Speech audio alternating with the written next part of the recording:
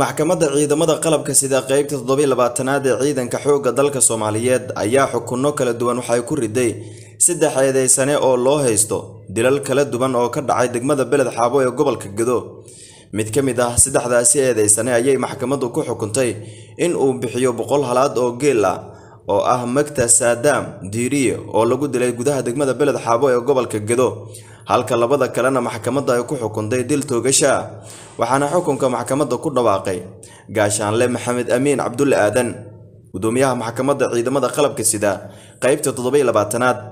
Dood dheer kadib maxkamaddu markay aragtay eeddii uu soo gudbiyey xeeraalyaha ciidamada qalabka sida oo ku xusnayd aayadda suuratu albaqara qodobka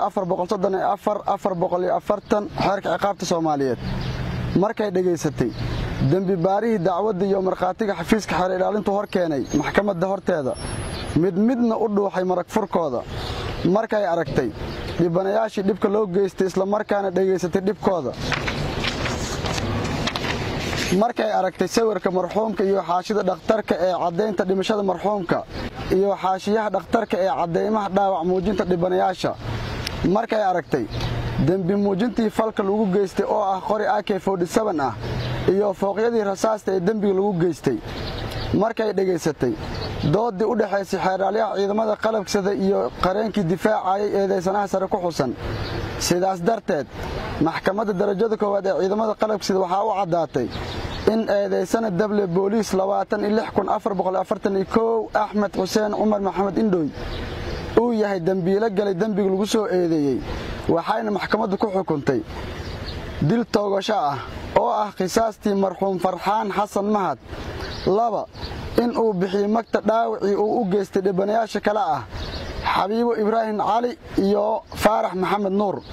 Ciddii aan ku qanacsanayn xukunka maxkamad waxaa u furan racfaan ujeedda xukun maxkamadeed maalinta ay taariikhdu ahayd bisha shanaad maxkamadda ciidamada qalabka sida waxay u fadhiisatay dacwad ciqaabeedkii loo haystay eedaysane dable xoogga cabdiqaadir faarax dhaqana cabdulle ee loo yaqaano nuune jir ah ina saxan faarax galaal ku dhashay xamar ka tirsan ururka koowaad ee guutada tobanaad qaybta afartanisdexaad ciidamada xoogga dalka soomaaliyeed kaasoo xafiiska xeeraalinta ciidamada qalabksida ku soo eedeeyey inuu dil kas ah u geystay marxuum mawliid baashi cumar. Taariikhdu markay ahayd bisha saddexaad dilkaas oo ka dhacay degmada beled xaawo ee gobolka gado. Dood dheer kadib maxkamaddu markay aragtay eeddii uu soo gudbiyey xeeraalyaha ciidamada qalabksida oo ku xusnayd aayadda suuratu albaqara qodobka xeerka ciqaabta soomaaliyeed markay aragtay qiraalkii eedaysanaha uu ka hor qirtay garsoorka maxkamadda darajada kood ee ciidamada qalabka sida.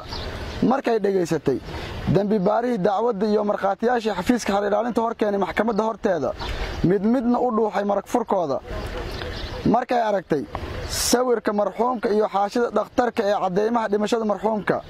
Markay aragtay dembi muujintii falka lagu geystay oo ah qori ak ah. Markay dhegaysatay dooddii u dhexaysay xeeraalyaha iyo qareenkii difaacayay eedaysanaha sare ku xusan. Sidaas darteed maxkamad darajada koowaad ee ciidamada qalabkisid waxaa u caddaatay in eedaysana dable xoogga cabdiqaadir faarax dhaqana cabdulle oo loo yaqaano nuune uu yahay dembiilo galay dembiga lagu soo eedeeyey waxayna maxkamaddu ku xukuntay dil toogasho ah oo ah khisaastii marxuum mawliid baashi cumar. Ciddii aan ku qanacsanayn xukunka maxkamadda waxaa u furan racfaan wabilahi towfiiq cumar guxuurbaahinta city jowhar